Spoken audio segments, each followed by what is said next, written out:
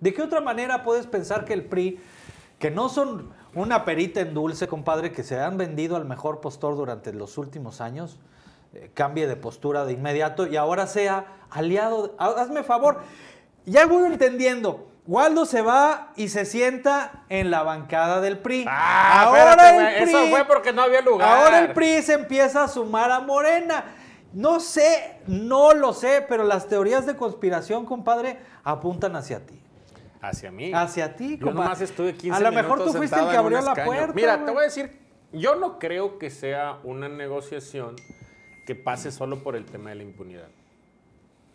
Me parece que es una negociación más profunda. Es evidente que hay una negociación o hay un intento de negociación o un intento de acercamiento entre el PRI y Morena. Es evidente, ¿no?